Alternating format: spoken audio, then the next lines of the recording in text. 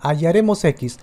Para ello, primero tenemos que eliminar los paréntesis y para ello, el número que está afuera tiene que multiplicar a los que están dentro. Así que primero acá sería 3 por 4, 12 y acompaña el x.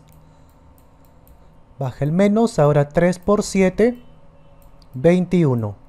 Listo, ahora acá, menos 2 por el x. El menos y ahora 2 por x, 2x. Ahora menos 2 por menos 4. Como tienen ambos signo, multiplicamos menos por menos, que acá dice que es más. Y 2 por 4 es 8, o sea sería más 8. 37 por acá. Listo, ahora por acá los que tengan x, a ver, sería 12x. A ver, otro que tenga x también por acá sería menos 2x.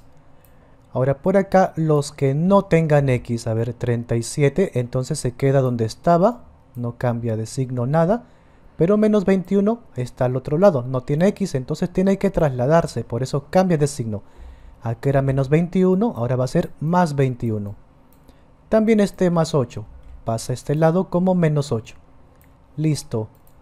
Por acá 12 menos 12 es 10 con su x. Ahora por acá, primero a ver, 37 más 21, 58, le restamos 8 y queda 50. Luego, acá hay multiplicación, entonces el 10 que está multiplicando pasa para este lado dividiendo, o sea, a la parte de abajo, justo así. Luego, dividimos 50 entre 10, 5. Así que la respuesta es 5.